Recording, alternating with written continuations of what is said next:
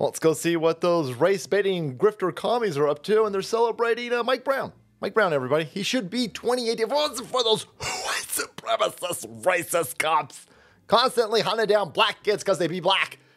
Mike Brown would be alive today, turning 28, and being a space tronaut medical science engineer. Or maybe if he's in a predominantly black area, he would have been killed by other predominantly black white supremacist gang member thugs. Who knows, boys? I don't know. All I know is that uh, this is what the left was doing for two days. Oh my God, Mike Brown, Mike Brown, Mike Brown. Mike Brown robbed a fucking convenience store, stole a whole bunch of cigarettes or um, one of those things that Tony Soprano cigars, cig- cigars. And then when the cop said, Hey, did you just rob that store? He punched the cop and grabbed his gun. And then he got fucking blasted.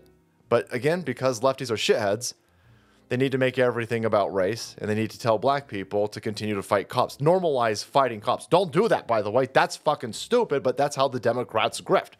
The Democrats need who white supremacy.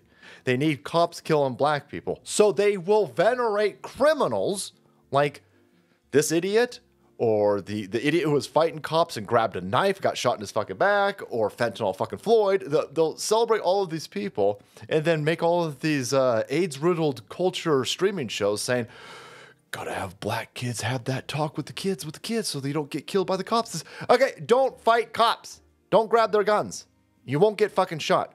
But the Democrats love that. They love black kids getting shot because that's how they fundraise. So they'll try to get more of that. Here's how it's playing out in this gym, by the way, where this guy says, You know what? I've been listening to Cori Bush, right? I listened to that show about, hey, fuck you, white people, on that streaming service that hates white people. And they said, when a cop rolls up on me, I shot fight him. That's what I'm going to do. So this cop is called to this gym. He shows up to this gym. He's in the squat machine over here. And the guy says, Oh, everything's kicking in. AOC, Cori Bush, Ilhan Omar fucking Joe Biden, they all told me that it's totally fine for me to fight you. Well, let's see how this plays out. I mean, this is, this is just a genius tactician over here. Yeah. Let me just square up on this fucking cracker. Look at this cracker come up here. He can't even bench 225. So I'm gonna flex on him. Yeah, that's a that's probably a dumb move because uh, that cop doesn't need to get into physical fisticuffs with you. By the way, that's just, just bop. oh, look at that. You're just gonna, you're gonna go scoop you right up. There you go. Yep, yep, yep, yep. Don't need to bench 225 when I can drop 225 with some lightning. Welcome to Zeus Power, motherfuckers. Yeah, so that worked out real well. Fucking moron. But again, he's being told to do this. This is what black youth are being. Black dudes are being told this. Black dudes, black chicks. They're being told by all of these people who make money off of dead black people to fight cops. That's a bad idea. That's a bad idea. Right? Not every cop out there is a racist. Not every cop is hunting down black people. But that's what uh, ugly fuckers like this over here have to say so they can grift some more cash money out of these communities. This is Collin Rugg over here. Man tased at church. That's a church. Oh no. The Church of Iron. Jesus lifts back, boys. Uh, man tased at Crunch Fitness in Amarillo, Texas, after he squared up to fight a cop. Why? Again, you sit there, you go, why would you do that? Well, he's been programmed to do that. His music, the television shows, the movies, the politicians he listens to, the mainstream media press, they all tell him to do this. It's bad. That's a bad idea. Because when he he would have got shot by that cop, all those same people would have been like, oh my God, I can't believe that this happened. It's because of a white supremacist racist cop. No, it's because he tried to fight a cop. Yeah.